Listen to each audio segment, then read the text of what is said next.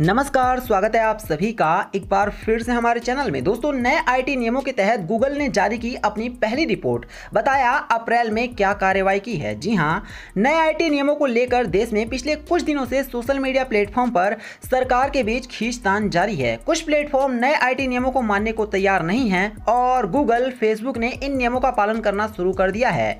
इसी कड़ी में नए आईटी नियमों के तहत गूगल ने अपनी पहली मासिक अनुपालन रिपोर्ट जारी कर दी है। बता दें कि नए आईटी नियमों के तहत 50 लाख से अधिक उपयोगकर्ताओं वाले बड़े डिजिटल मंचों को हर महीने अपनी अनुपालन रिपोर्ट प्रकाशित करनी होगी, जिसमें प्राप्त शिकायतों, उन पर की गई कार्यवाही का विवरण होगा। 26 जुलाई से लागू हुए आईटी नियमों के तहत गूगल ने जारी की अपनी पहली मासिक पारदर्शिता रिपोर्ट में बताया है कि उसे भारत में इस साल अप्रैल में व्यक्तिगत उपयोगकर्ताओं से स्थानीय कानून या व्यक्तिगत अधिकारों के कथित उल्लंघन से संबंधित सत्ताईस से अधिक शिकायतें मिली हैं, जिसके चलते उनसठ सामग्रियों को हटाया गया है।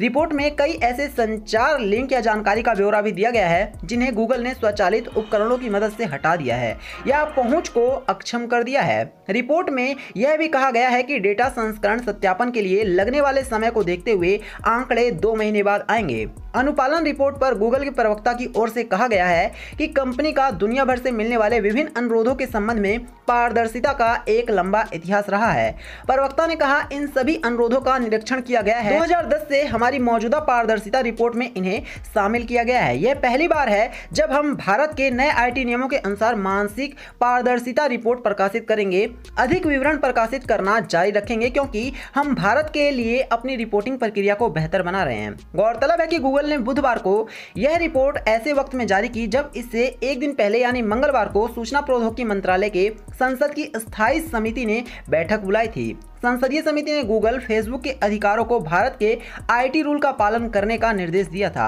जिसमें सूचना प्रौद्योगिकी पर संसद की स्थायी समिति की बैठक में समिति की सामने फेसबुक ने जवाब भी दाखिल किया था। साथ ही बैठक में आईटी नियम 2021 का अनुपालन करने पर ज़ोर दिया गया, जिसके अंतर्गत भारत में अनुपालन आधिकारिक नियुक्ति ज़रूरी है। तो साफ़ है कि गूगल ने दोस्तों नए आईटी नियमों का पालन करना शुरू कर दिया है, जो कि हमारे देश के लिए और गूगल के अच्छे भविष्य के लिए भी बहुत बेहतर है। तो यही था वीडियो में। वीडियो को लाइक करना इसे शेयर करना और चैनल को सब्सक्राइब करना। धन्यवाद।